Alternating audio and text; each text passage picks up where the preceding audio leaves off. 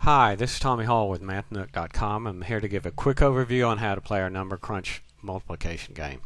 If you're not familiar with MathNook, we have uh, plenty of math and fun games as well as teaching tools to use and play. Uh, they're all free, no membership or sign up required. Also, if uh, this game is on MathNook and available to play for free, but if you'd like to uh, put this on your website, you can go to gamedistribution.com and download that and put it on your uh, website. Okay, when you first start the game, this is the main menu which you'll, uh, that you'll see. And uh, if you click the More Games button, this will take you to our website, mathnook.com. The video will take you to this video in case you want to um, like to see that again. And the question mark will take you to instructions. And click this button, back go back to the main menu. I'm not going to go over that since we'll be reviewing the game. Um, so you've got three levels. You can choose to play beginner, which is uh, a little bit easier problems than advanced and expert, and there's also no time limit on the beginner version. The advanced version has a little bit uh, harder problems and a time limit, and expert has a little bit harder problems than advanced and the little bit less time. So let's go ahead and take a look at the beginner level. And if you're not familiar with match three games, this is like uh, uh, Candy Crush, um, where you try to make three or more matches, three or more of the same colored candies in a row, either vertically or horizontally. And when you make a match over the, uh, say, these squares, then these dark squares go away. And the objective uh, the game is to clear, or the, I should say, each level is to clear the level of all the dark backgrounds. And I'll show you how that plays in just a minute. The uh, you have five levels. I'm sorry, five lives per level. Here's your score, and this tells you what level you're on.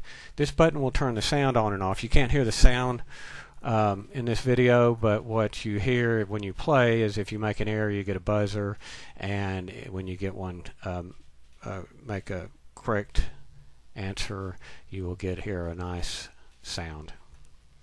So um, let's go ahead and play it a little bit. And what I'm going to go ahead and do is try to clear out these three uh, dark squares there. And the way I do that is I will crush this candy by determining if this problem is true or false and answering correctly.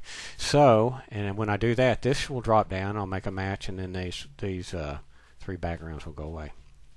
So 2 times 2 is not equal to 5, so I need to be sure false is highlighted. So now I'm saying 2 times 2 does not equal 5. That's a false statement. So let's go ahead and click it. You saw the three candies drop down and you saw the backgrounds disappear. Now, if you uh, let's go ahead and I'll show you something else here. I'll show you. I'm going to go ahead and get rid of these because I'm going to get this uh, yellow heart down there and I'll get rid of these four because we've got a match of three or more at the same time. Uh, 5 times 2 is 10. Let's go ahead and click true.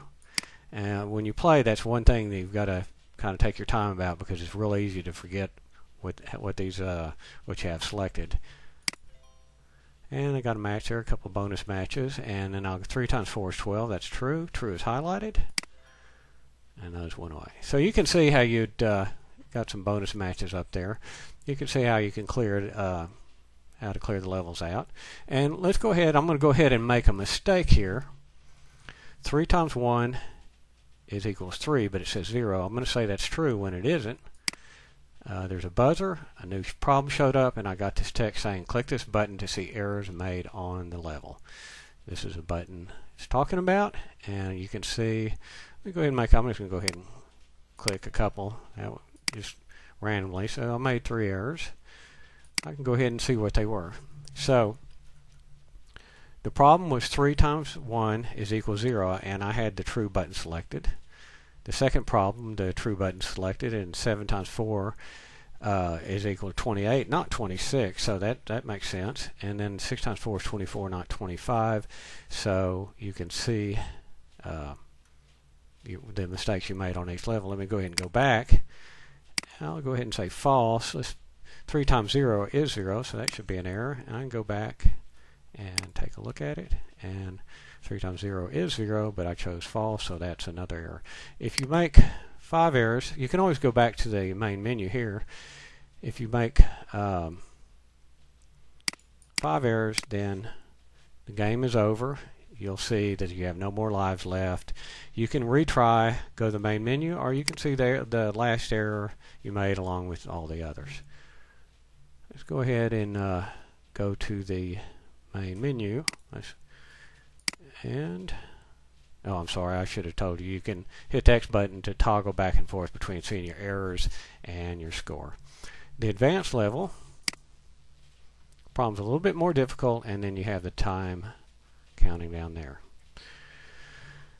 So that's how you play the game. We have quite a bit, uh, quite a few more uh, versions coming out, including uh, integers, fractions, decimals, uh, some algebra, and quadratic equations version coming out. So we're going to have lots more versions coming out. But if uh, you have a particular version you'd like to see, send us, drop us an email uh, at MathNook and at info uh, info at mathnook.com and let us know what kind of version we'll see and we'll see what we can do. Um, I hope this has helped you some. Um, hope you have fun playing the game and thanks for watching.